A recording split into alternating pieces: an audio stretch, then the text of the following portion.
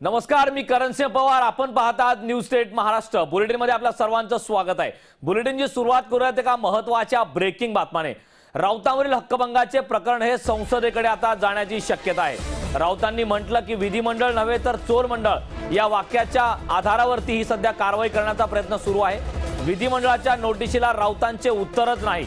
त्यामुळे विधानसभा अध्यक्ष प्रकरण हे आजच विशेषाधिकारी समितीस देणार असल्याची माहिती मिळते तर राज्य समिती राज्यसभेच्या विशेषाधिकार समितीकडे पाठवणार आहेत. संजय राऊत स्वतः राज्यसभेचे खासदार आहेत. त्यामुळे राऊतांना म्हणणं मांडू देण्यावर राज्यसभा समिती ही ठरवणार आहे.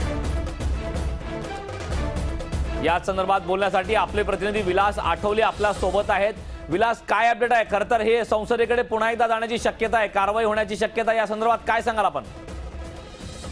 पुन्हा एकदा नव्हे आता हे प्रकरण जे आहे ते संसदेकडे झालं याचं कारण असं आहे मी संजय राऊत आणि थोर हक्कभंग आणण्यात आला. महाराष्ट्राचा विधानसभेमध्ये हा हक्कभंग आणण्यात आला. पण संजय राऊत हे राज्यसभेचे सदस्य आहेत आणि राज्यसभेच्या सदस्यांवर अशा प्रकारची कारवाई जर करायची असेल तर लोकसभा आणि राज्यसभा हे ज्यांच्या नियंत्रणात येतं त्यां- त्यांच्याकडून ही कारवाई होऊ शकते. विशेष विशेष अधिकार समिती जी आहे ती आज विधानसभा अध्यक्ष आपला अहवाल देईल आणि हा अहवाल जो आहे विधानसभेचे अध्यक्ष राहुल नार्वेकर केंद्राकडे पाठवतील केंद्र सरकारकडे पाठव- पाठवतील. त्यामुळे हे सगळं प्रकरण जे आहे आता केंद्र सरकारच्या अधिकारात जाणार आहे याचं कारण संजय राऊत जे आहेत ते राज्यसभेचे राज्यसभेचे सदस्य आहेत. सगळ्यात महत्वाचं ज्या पेशाने विधानसभेमध्ये हा हक्कभंग आणण्यात आला त्यांना कुठलाही अधिकार बोलवण्याचा नाही. अशा प्रकारची माहिती आता पुढे येते आणि त्याच्यामुळे हा मार्ग काढण्यात आला.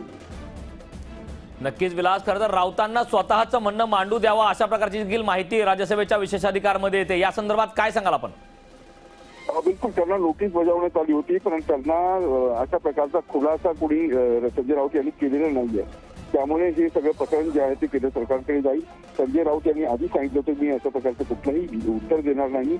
मी बाधील बांधील नाही अशा प्रकारची भूमिका घेतली होती. त्यामुळे जर संजय राऊत यांच्यावर कारवाई करायची असेल तर ती केंद्राच्या मार्फतच करण्यात येईल ते निश्चित.